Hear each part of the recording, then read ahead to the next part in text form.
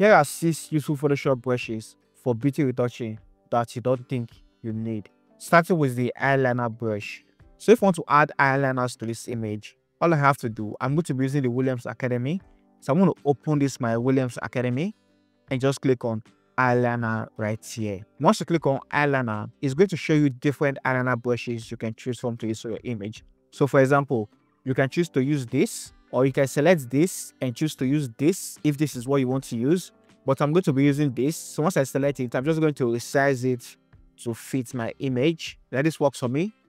I'm going to click OK. So from here, I'm just going to make it fit. To do that, I want to press a Command T to put the transform tool and just try to resize it until I feel it's okay.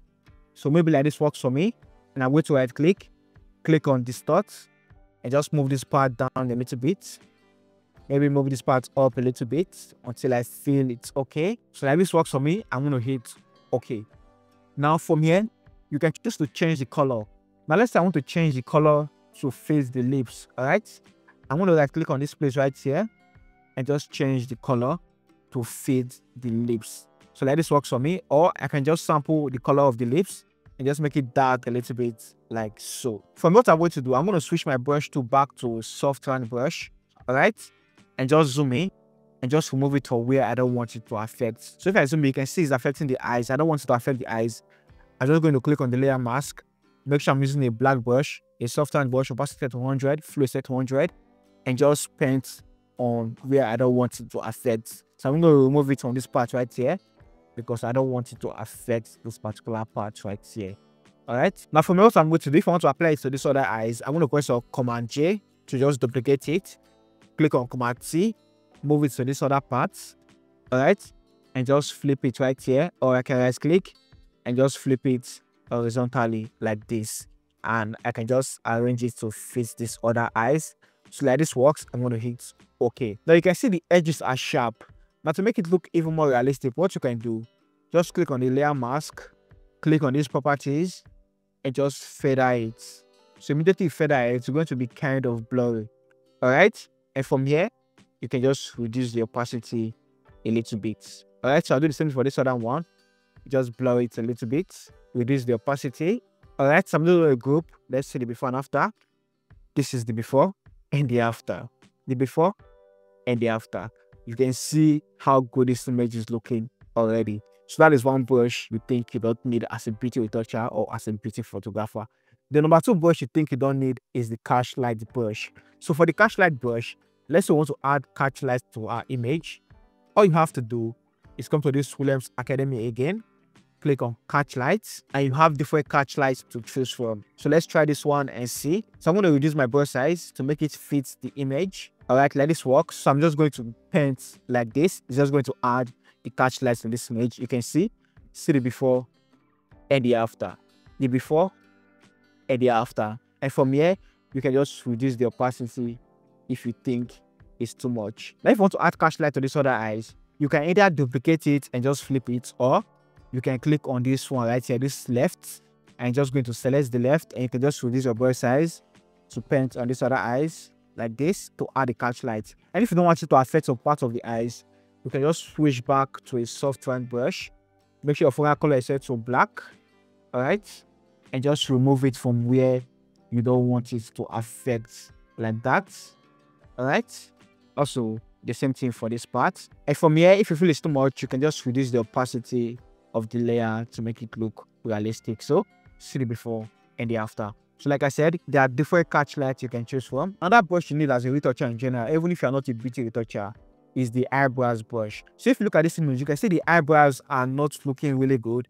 To fix it, all I have to do is click on this Williams Academy again and just click on brows right here.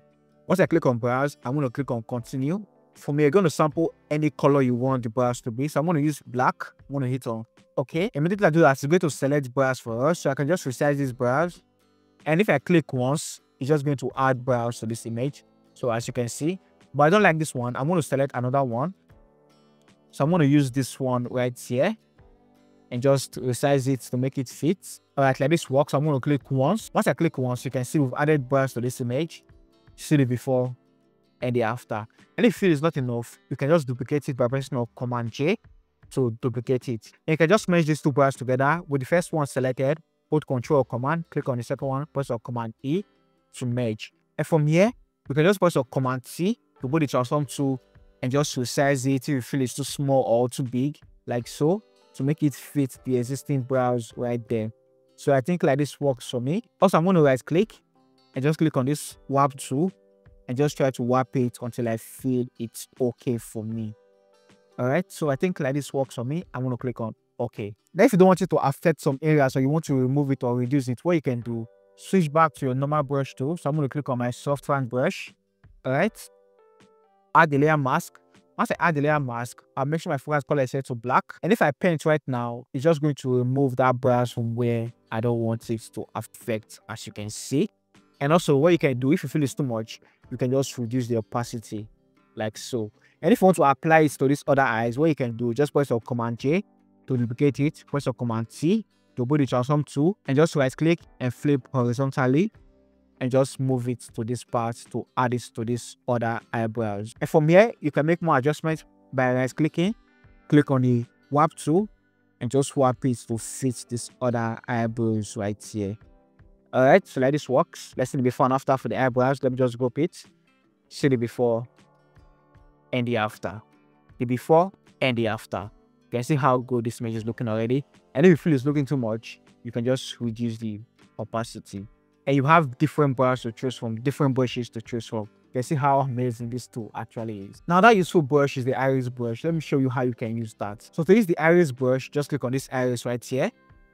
I'm just going to show you to choose any iris brush you want. So there are different iris brush you can choose from. So just play with the options you have and see whichever one works for you. So let's use this one. I'm just going to zoom in. So I'm going to reduce the brush size to make it fit the iris. I'm just going to click once I'm just going to fit the iris. I'm going to come to this other side, click once again, and it's just going to fit the iris for me. Now what you can do, if you want to change the color, you can click on this iris right here on the layer mask, this iris right here, and just click again. All right. So come to this other one, click again, like so. Now to change the color, you can just double click on this blue right here and just play with the hue. I'm just going to change the colors for you, as you can see. Now, if you want to remove it from the areas you don't want it to affect, right? With this layer mask selected, this white layer mask, pick your normal brush tool, all right? Once you pick your normal brush tool, make sure your foreground color is set to black and just remove it from areas you don't want it to affect or where you don't want it to affect like that. Just play with it and see how it works for you. Now, see the before and the after. And if you still want to change the color, you can just come to the color and just play with the color once you think it's okay. All right. And if you feel too much, you can come to the opacity, the overall opacity, and just reduce the opacity like so. All right. So see the before and the after. The before and the after. Another really useful brush is the lashes brush. So to use the lashes brush, let's say you are working on an image that has less lashes. What you can do, just click on this Williams Academy again and click on lash right here once you click on lashes, just going to open the lashes brush. And you can select any lashes that work with your image. So if I want to use I can use this one. If I also want to use this one, I can use this one.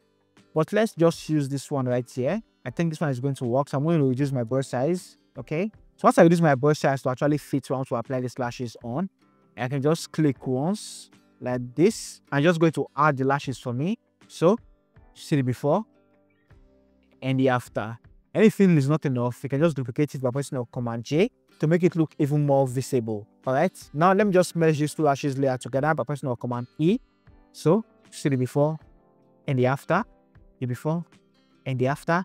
And if you want to apply it to these other eyes, what you can do, you can just duplicate it again by pressing Command J. Once you press your Command J, just press your Command T, right click, click on flip horizontal, and just drag it to this other eyes right here. And from here, you can just move it the way you want to make it look even more realistic. All right, so let this work for me. I'm to click on OK. Now, what if you don't want it to affect some areas or you want to remove it from, from a particular area? What I'm going to do, I'm going to add a layer mask. Once I add a white layer mask, pick my soft round brush tool. All right. Once I select my soft round brush tool, so let's say I want to remove it from this part. I don't want to affect this part. I want to use a black brush. Make sure my foreground color is set to black.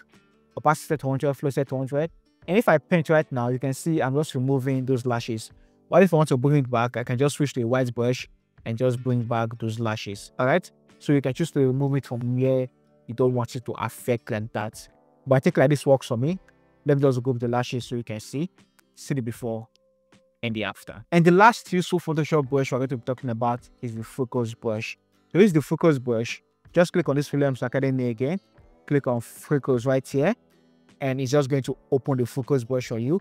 And there are different focus you can choose from. Just choose anyone that works for you. So let's choose this one.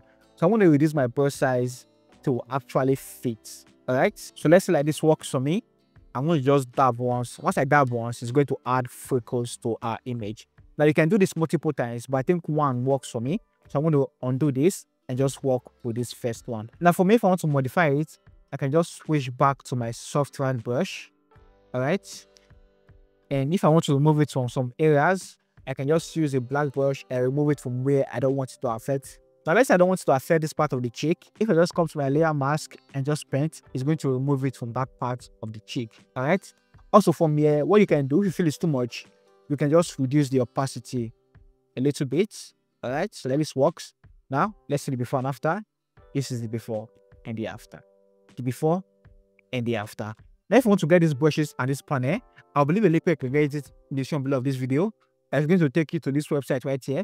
So you can choose to buy the brushes individually or the lashes individually. But if you want to get the brushes, the lashes, and the panel together in one place, just click on this bundle deal right here and just scroll the way down and you are going to see the panel right here. So you are going to buy this first one right here if you want to get everything. But if you want only the panel, you can choose to buy this one right here. So check the link shop below of this video. And if you want to learn how to use the Williams Academy to edit your image from start to finish, check out this video right here. I'll see you guys in my next one. Stay creative.